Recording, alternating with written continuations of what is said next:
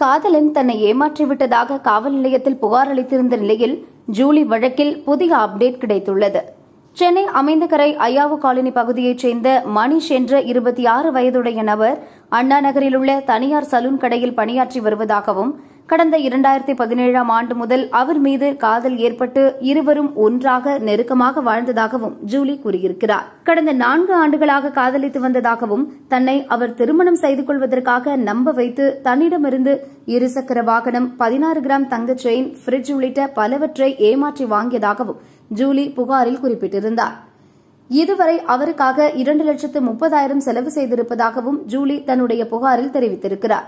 இந்நிலையில் போலீசார் சம்பந்தப்பட்ட மனிஷை காவல் நிலையம் அழைத்து சென்று விசாரித்தனர். விசாரணையில் கடந்த இரண்டாயிரத்தி பதினேழாம் ஆண்டு ஜூலிக்கும் அவரது முன்னாள் காதலருக்கும் பிரச்சினை எழுந்தபோது கேரளாவை பூர்வீகமாக கொண்ட மணிஷ் என்பவர் ஜூலிக்கு ஆறுதல் கூற பின்னர் அந்த நட்பு காதலாக மாறியுள்ளது. அதன் பின்னர் இருவரும் ஒன்றாக வசித்து வந்துள்ளனர்.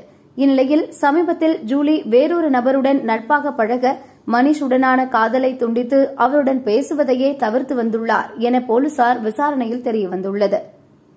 ஜூலியின் இந்த திடீர் காதல் பிரேக்கப்பை தாங்கிக் கொள்ள முடியாத மனிஷ் ஜூலிக்கு கால் செய்து தன்னை பிரிந்து செல்ல வேண்டாம் எனவும் அவர் இல்லாமல் தன்னால் வாழ இயலாது எனவும் கூறி அழுது அடிக்கடி கால் செய்து வந்ததாகவும் தெரிய வருகிறது இதனால் மனிஷை மிரட்டுவதற்காக ஜூலி காவல் நிலையத்தில் புகார் அளித்துள்ளார் என்பதும் தெரியவந்தது.